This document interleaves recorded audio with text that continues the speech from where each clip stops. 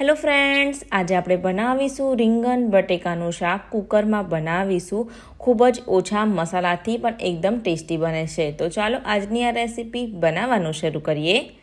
રીંગણ બટાકાનું શાક બનાવવા માટે અહીંયા આગળ મેં રીંગણ લીધા છે. રીંગણ અહીંયા આગળ મેં અઢીસો ગ્રામ જેટલા લીધા છે. અહીંયા આગળ મેં લાંબી સાઇઝના રીંગણ લીધા છે. તમે કોઈ પણ રીંગણ લઈ શકો છો. તો આ રીતે સમારી લેવાના છે.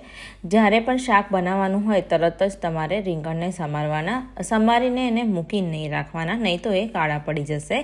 તો અહીં આગળ તમે જોઈ શકો છો કે તરત જ મેં એને પાણીમાં જ રાખ્યા છે. તો અહીં આગળ રીંગણ સમારાઈ ગયા છે. હવે આપણે આ શાક કુકરમાં બનાવવાના છે. એટલે કુકરને પણ ગરમ કરવા મૂકી દેવાનું છે. અહીંયા આગળ એક મીડિયમ સાઇઝના બટાકાને સમારી લીધું છે. એને પણ પાણીમાં રાખ્યું છે. પછી અહીં આગળ એક ટામેટું લીધું છે, મીડિયમ સાઇઝનું. તો ચાલો હવે આપણે શાક બનાવી લઈશું. તો અહીં આગળ કુકરને પહેલેથી જ ગરમ કરવા મૂકી દીધું હતું. એની અંદર આપણે બે મોટી ચમચી એટલું તેલ ઉમેરીશું. તેલ ગરમ થાય એટલે અડધી ચમચી રાઈ ઉમેરીશું. અડધી ચમચી જીરું ઉમેરીશું. વન ફોર ટીસ્પૂન જેટલી હિંગ ઉમેરીશું. ગેસની આંચ અહીંયા આગળ મીડિયમ ટુ સ્લો રાખવાની છે. એક ચમચી આદુ મરચાં અને લસણની પેસ્ટ ઉમેરવાની છે. જો તમે લસણ ના ખાતા હોય, તો એકલી આદુ અને મરચાંની પેસ્ટ ઉમેરવાની. તરત જ એક ટામેટું આપણે સમાઈને રાખેલું છે તે ઉમેરી દઈશું. અને એને આપણે મિક્સ કરી લેવાનું છે. અડધી ચમચી હળદર ઉમેરીશું. એક ચમચી લાલ મરચું પાવડર ઉમેર્યું છે. મેં આગળ કાશ્મીરી ઉમેર્યું છે. એક ચમચી ધાણા જીરું પાવડર ઉમેરી દીધો છે. પછી હવે આપણે મસાલાને સારી રીતે મિક્સ કરી દેવાનું છે ને અડધી મિનિટ જેવું એને શેકાવા દેવાનું છે. ગેસની આંચ અહીં આગળ સ્લો જ રાખવાની છે.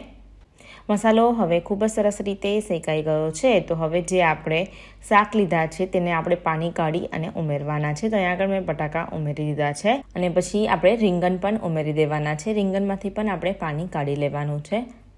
તમે જોઈ શકો છો કે બધું શાક ઉમેરી દીધું છે. તમે જો અહીંયા આગળ લીલા વટાણા ઉમેરવા માંગતા હોય તો તમે એ પણ ઉમેરી શકો છો.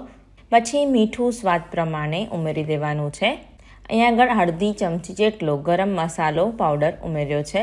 પછી અહીંયા આગળ એક ચમચી સૂકા કોપરાનું જે છીણ આવે છે રેડીમેડ મળે છે, તે અહીંયા આગળ મેં ઉમેર્યું છે. એનાથી ગ્રેવી થોડી થીક થશે અને શાકનો ફ્લેવર ખૂબ જ સરસ આવશે.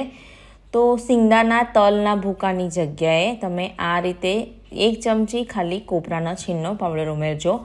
થોડો ગોળ ઉમેર્યો છે ગળચટ્ટા માટે. જો તમને ગળ્યું શાક ના ભાવે તો તમારે સ્કીપ કરી દેવાનું છે. સારી રીતે મિક્સ કરી લઈશું.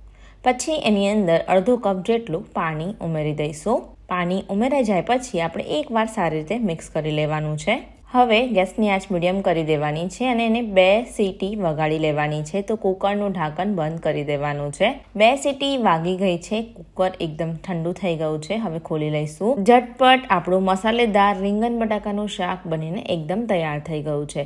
તો તમે પણ આ રીતે એકવાર જરૂરથી ટ્રાય કરજો. તમને જો મારી રેસીપી ગમી હોય તો લાઇક અને શેર જરૂરથી કરજો. તમે રીંગણ બટાકાનું શાક કેવી રીતે બનાવો છો તો નીચે કમેન્ટ સેક્શનમાં કહેજો. મળીશું એક આવી જ નવી રેસીપી સાથે. ત્યાં સુધીને આવજો.